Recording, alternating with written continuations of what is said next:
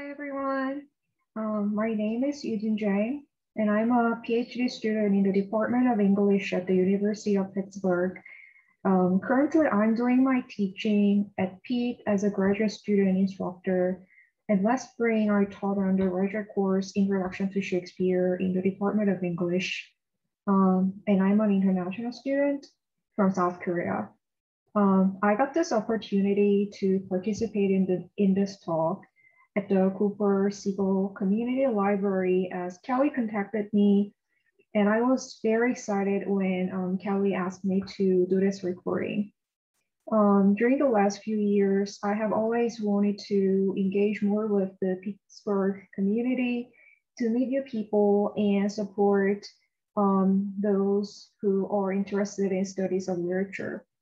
So before I begin my talk, I um, wanted to express my gratitude to Kelly.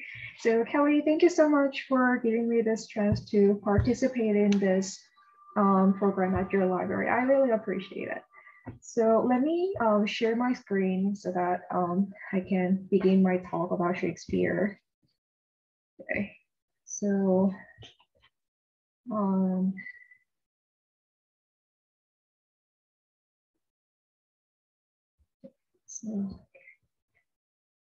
okay, so um, the title for this talk is Reading Shakespeare for Pleasure. And I want to begin my talk with this question How to enjoy reading Shakespeare? Is it possible? So, how can you really enjoy reading Shakespeare? Um, I have been interested in exploring different pedagogical approaches to learning or teaching Shakespeare during the last few years. But this um, Actually, this question is the one that I haven't considered deeply. Um, I think that we often have many discussions about how to read Shakespeare, especially in classroom environment. Or we sometimes question why do we need to um, study Shakespeare? But we do not really talk much about whether reading Shakespeare is indeed an enjoyable work.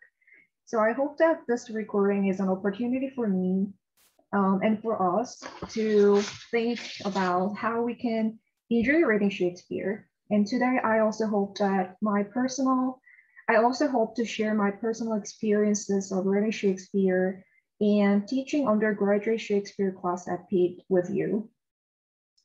Um, okay, so while preparing this recording, the first thing that I did was a Google search. So I simply typed how to enjoy reading Shakespeare. And I have, um, I found many blog um, postings or websites suggesting ways to read Shakespeare for pleasure.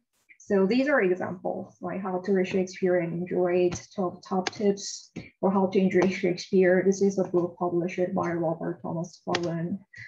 Um, and I also, and on the website, Quora, I also found that someone asked this question, um, how can I force myself to read and enjoy Shakespeare's works, which are considered to be English masterpieces. Um, and there are 29 people discussed this question on this online platform. I thought that this question was very interesting. I mean, can we force ourselves to enjoy the process of reading Shakespeare? Or can we really force the enjoyment if not, then how can we make reading Shakespeare enjoyable? Is it possible? So having these questions led me to further think about possible reasons why we cannot enjoy reading Shakespeare. And perhaps, as mentioned by the person who made this posting on Quora, um, it is partly because Shakespeare's works are considered as such a great masterpieces. Um, maybe that's part of the reason why we feel Shakespeare so much difficult to read. And um, particularly considering Shakespeare's works as classics, which is fundamentally linked to pre-modern history, philosophy or culture, um, can make us feel that Shakespeare is hard to understand and interpret. But I think this is actually not true. Um, interpretations of Shakespeare have been changed a lot from past to present in scholarly as well as non-academic environment, including situations that we encountered every day in our daily lives. Um, this actually suggests that we as modern audience or consumers of postmodern culture are allowed to produce new meanings while experiencing Shakespeare in our lives. Um, so I want to emphasize that everyone does not need to feel overwhelmed by the fact that Shakespeare's works are such a great masterpiece um, or classics when we try to um, interpret Shakespeare from our personal perspectives.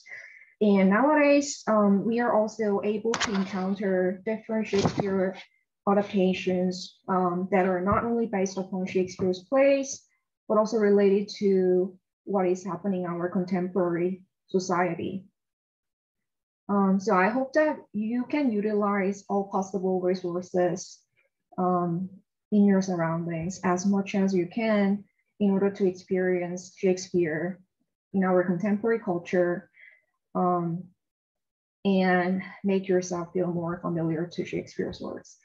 At the same time, although I just mentioned that we are allowed to produce new meanings about Shakespeare, I still think that we should not disregard what Shakespeare tried to express in his text, which means do, doing a close reading of his plays is still very important especially to genuinely enjoy reading and understanding Shakespeare. So while talking about Pericles as an example to discuss reasons why we need to read Shakespeare's lesser known works, I'll try to explain how um, making close reading allows us to feel more engaged with interpreting Shakespeare. And last part of this recording will be about how we can enjoy Shakespeare in Pittsburgh which is a great um, artistic and cultural hub where many theaters and events of performing arts thrive. So that's the structure of this recording. So um, first, I want to talk about film adaptations of Shakespeare's plays.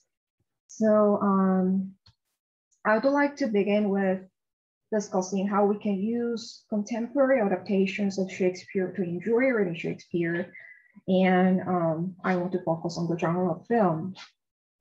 As many of online postings suggest, before reading Shakespeare's plays, we can begin with a good Shakespeare movie. And a few examples that I can think about are, or actually these, but there are, um, there are more, of course. So um, Michael Almereyda's Hamlet, Kenneth Branagh's Hen um, Henry V, or Justin Kurzel's Macbeth, or uh, Michael Radford, The Merchant of Venice. But in this recording, I want to focus on Justin Kurzel's Macbeth as an example to further examine and discuss. Kurzel's version is, of course, based upon Shakespeare's Macbeth, and Michael Fassbender performed the role of Macbeth, and Marion Cotillard was the lady Macbeth. And in fact, I was teaching, when I was teaching Introduction to Shakespeare last semester, I did the film screening during my class. So after we watched the film, the first question that I asked my student was whether the film was, was faithful to the original. And most of my students responded that the film was very, very faithful to the original. However, when we began to make close analysis of the film, I found that my students' um, thoughts were gradually changed and this was one of my students' response. In her paper that she submitted after we finished our synchronous Zoom meeting, she wrote that, quote, while Kurzel's film adaptation remains largely faithful to Shakespeare's original work with regard to dialogue and plot, it takes many creative liberties in order to depict modern day ideologies. So um, now I want to run a very short video clip, which is about five minutes from the film um, Kurzel's Macbeth, in order to illustrate how the film is simultaneously faith, faithful to the original and is a creative work by the film director. So this clip presents the very well-known scene in which Lady Macbeth is doing her sleepwalking while trying to wash off um, imaginary blood stains from her hands. Um, but before watching the play, I want you to take a look at the specific scene featuring Lady Macbeth's madness in Shakespeare's play. So in Act 5, Scene 1, it is these two characters, doctor and gentlewoman, for observing the behavior behavior of Lady Macbeth, who is showing her habit of sleepwalking in the king's place of Dunsinane. Lady Macbeth appears with the candle in her hand and speaks in a trance that she cannot remove blood stain and she could still smell the blood on her hand. So this is what the original play presents. But Kurzel's film version um, depicts this in, in a very different way. So let's watch the clip together. So let me stop sharing this. And um, and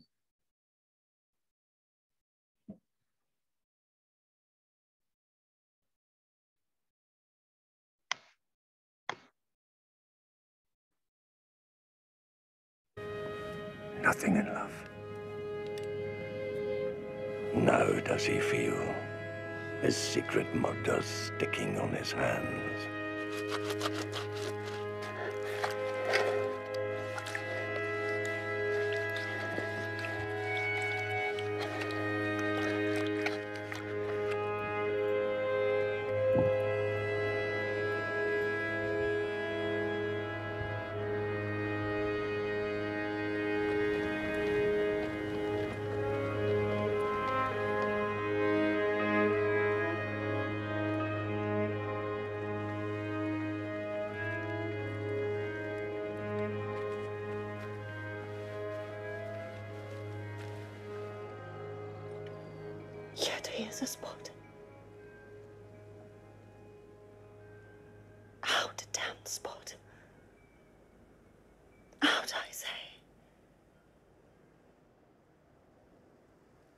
Hell is murky. Fie, my lord. Fie. A soldier and afeard. What need we fear who knows it, when none can call our power to account?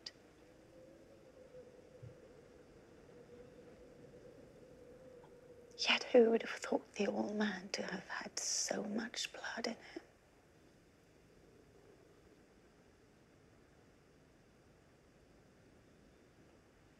The Thane of Fife had a wife.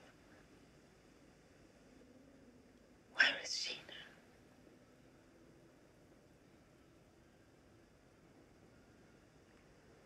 What? Will these hands ne'er be clean?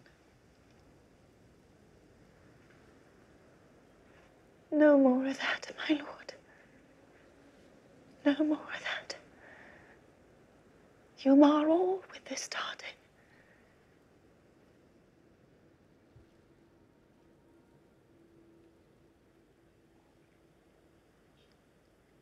Here's the smell of the blood still.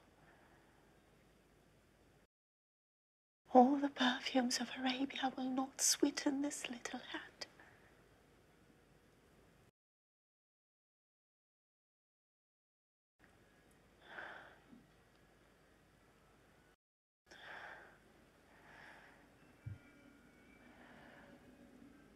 Wash your hands. Put on your nightgown. Look not so pale.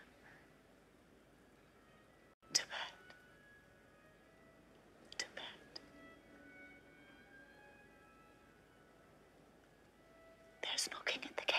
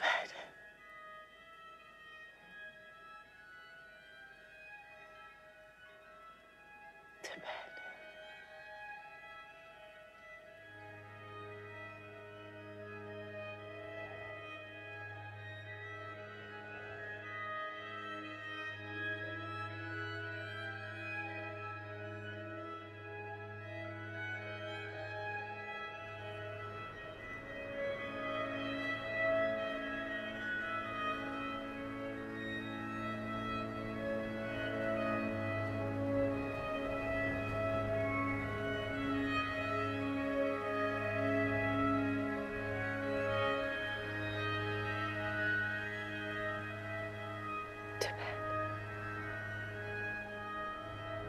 to bed, to bed.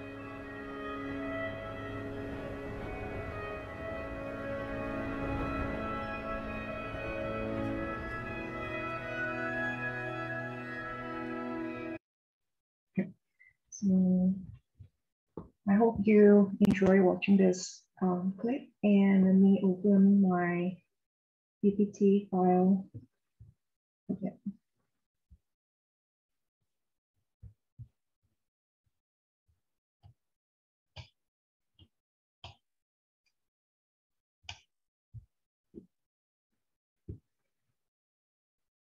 Okay. So there are many issues or questions that we can think about in terms of the difference between the scene from the original play and what is presented in this video, in the screen. So firstly, we found that it was not the conversation between doctor and gentlewoman that the film presents, but the filmmaker is doing an extreme close-up in order to feature the face of the actress. And the camera focuses on her facial expressions while she's making a speech. Um, we, um, as the audience watching the screen, we believe that we are the spectator of the scene until the moment when a figure of child appears. So when the screen shows the two figures, a child and Lady Macbeth sitting in front of the child, we realize that what has been presented on screen is in fact what is being observed by the child and the scene was in fact what has been seen from the perspective of the child. Then who is the child? This was a very intriguing question to my students, and they provided many different and interesting conjectures about this question.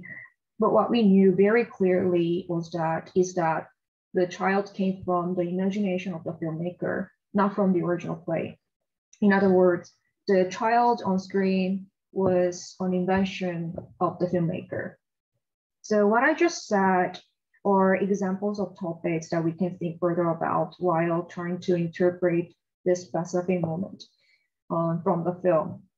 The director have already created the scene independently from Shakespeare intention, and I think the films performing the child motif can even resonate situations of contemporary society. And actually the figure of child is um, what is repetitively represented throughout the film. And this is the beginning of the film where the main characters are having the funeral funeral of, um, of that child. And um, the figure of the innocent child or um, slogans such as the children is our future are often emphasized in our contemporary society. And contemporary ideologies regarding the concept of the child um, in relations to futurity, particularly, are also embedded in contemporary media culture. So we can further discuss whether the film director inc incorporates contemporary socio-political ideologies into his film adaptation of Shakespeare's Macbeth while making his film still faithful to the original. And after having all these questions, we can begin to read Shakespeare's Macbeth once again in order to consider those issues further by doing close reading. We can have further question uh, questions, for example, in Shakespeare's plays, what can make the film director imagine and create the symbol, symbol of the child in his film? Or is the figure of the innocent image of the child already existing in Shakespeare's Macbeth, but is this what has been um, less discussed so far? These are examples of questions that we can think about, but watching the film first in this way before reading the play um, can help us to engage more with reading Macbeth and produce more meanings while reading the play. As illustrated with the example of Kurzel's Macbeth, film versions of Shakespeare's plays not only enable us to um, make ourselves familiarize to the story plot um, of Shakespeare's plays, but also offer many interesting issues that we can think critically about while we read the play, read Shakespeare's play. And watching film adaptations does not only help us to read Shakespeare, but also lead us to change our views of Shakespeare's plays, or sometimes allows us to reinterpret Shakespeare so that we can have more productive conversations on Shakespeare. Okay, so next section is about Shakespeare's lesser known plays, and I want to use Pericles' Prince of Tyre as an example. So why should we read some of Shakespeare's lesser known works? Um, frankly speaking, I have not read all his plays and I am still trying to read Shakespeare's lesser known works whenever I have time. And in fact, I have discussed this question with my student last semester when we finished reading Shakespeare's less famous plays, such as Pericles or The Winter's Tale. And I was impressed by my student response um, responses. One of my students mentioned that reading Shakespeare's lesser known plays not only enabled her to get more used to um, late 16th and early 17th century English, as well as Shakespeare's lexicons, but also allows us to have deeper understandings of contemporary social and historical situations as reflected in Shakespeare's works.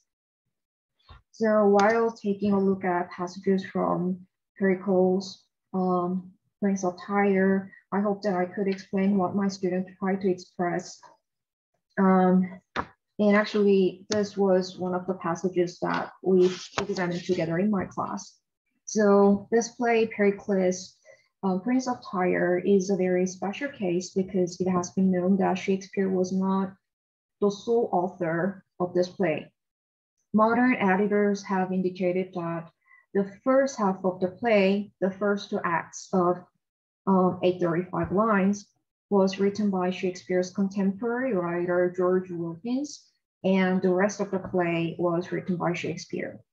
And the passage that I want to examine is from scene 12 or um, act 4, scene 2 in some versions that has been known as the part written by Shakespeare. Marina, as so in this play, Marina, as a daughter of Pericles, who is a prince of Tyre, is raised by Cleon and Dionyza, but Dionyza plans to murder Marina because Marina grows up more beautiful than her daughter. Um, and Marina is kidnapped and sold to a brothel in Mytilene.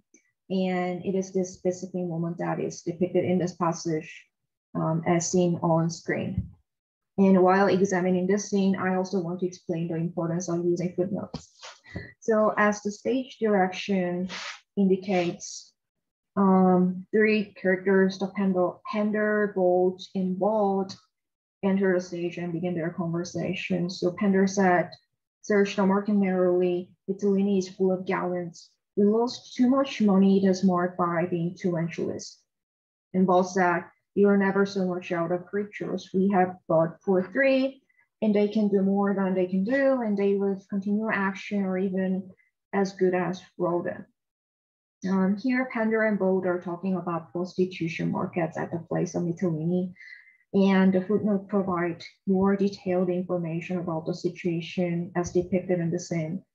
For example, the term March means market day uh, for the gallants or young men who want to buy sex at brothel in Mytilene.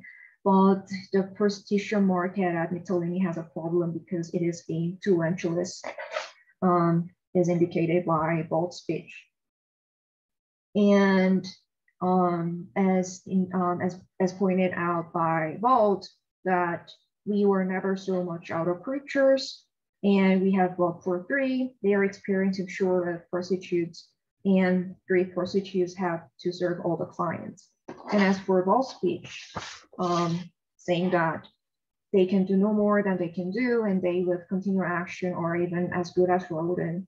The footnotes provide further information. So the continual action indicates that the sex trade in both brothel made the prostitute infected with venereal disease, and the footnote indicates Quote, this probably implies that they are so worn out with the continual action that they are as useless as if they were completed this visit.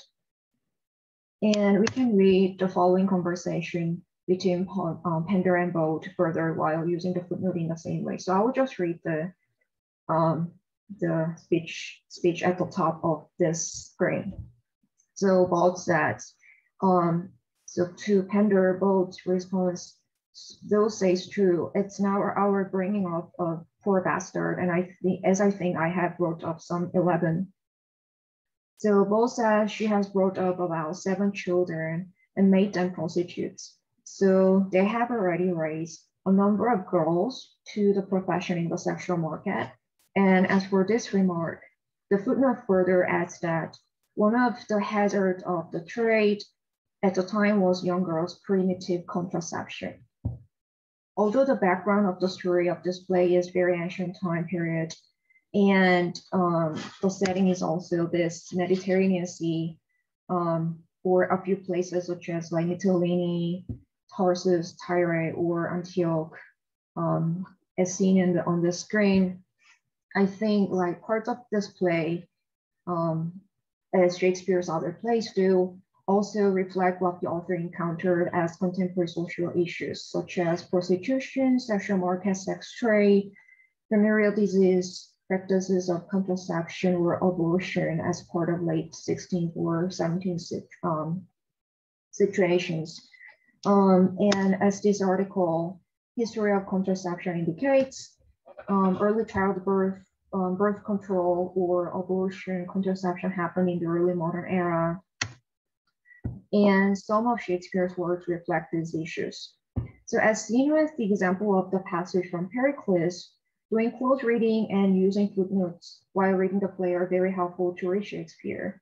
And these themes of early modern sex industry or objectification of the female body and its exchange value are also reflected in Shakespeare's other plays, such as The Rape of Lucrece or Measure for Measure. So reading Shakespeare's lesser known works or also allows us to see how Shakespeare's different plays are connected to or resonate with um, each other and makes us understand contemporary social political situations more in depth. So next part is um, experience Shakespeare in Pittsburgh. So I want to talk briefly about resources in Pittsburgh that we can experience in Pittsburgh. And I guess many of you already um, know about this, but let me just um, um, talk briefly about that. So um, Pittsburgh is such a beautiful city, which provides many great opportunities of experiencing diverse artistic performances. And during the last few years, while staying here, I have found that there are so many performing arts events about Shakespeare. And these are some examples um, performed in the Pittsburgh Cultural District during the last five years. Last year, Pittsburgh Ballet Theater featured A Midsummer Night's Dream at Hartwood Acres. Um, and uh, in two, 2014, Pittsburgh Opera has this performance Verdi's Othello, which is based upon Shakespeare's play Othello. And if you like Shakespeare's Othello, and if you have any chance, then I really want you, I really want to suggest you to watch this operatic work by Verdi.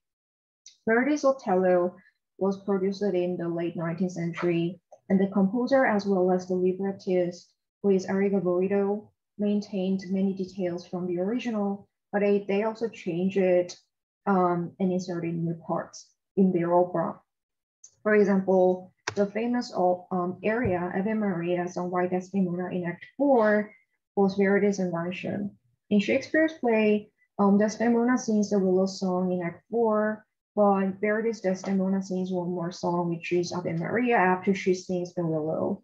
Um, in the prayer, um, Desdemona sings that um, pray for the one who kneels in the prayer before you, and pray for the sinner, and pray for just everyone. So my personal impression is that his Desdemona singing the aria makes her seem more innocent and pure than Shakespeare's original. Um, I just really like the music.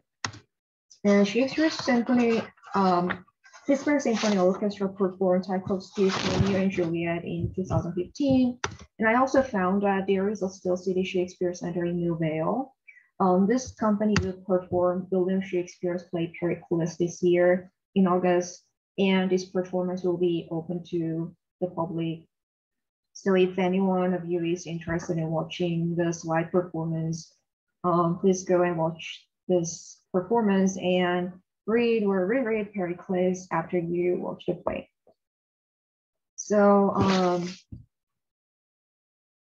so this is actually all I prepare as, as my PPT. So I think that all those examples that um, have been performed or will be featured in um, Pittsburgh illustrate the reason why Shakespeare is still still revered and beloved in our contemporary society and culture. Shakespeare's works are translated or transformed across time and space, and we, as modern audience, react so effectively to Shakespeare's works and Shakespeare's adaptations. So Shakespeare is still a great cultural capital in our contemporary era, and we cannot underestimate his aesthetic, cultural, or social values that still resonate with many aspects in modern society. So I think there are many interesting issues that we can think about while reading Shakespeare or seeing Shakespearean performances.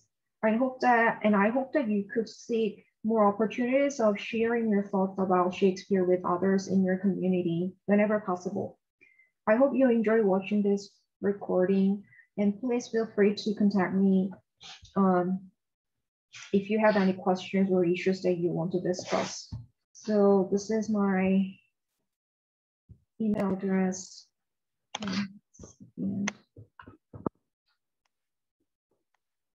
So yeah, so this is my email address. So thank you for listening. Um, thank you so much.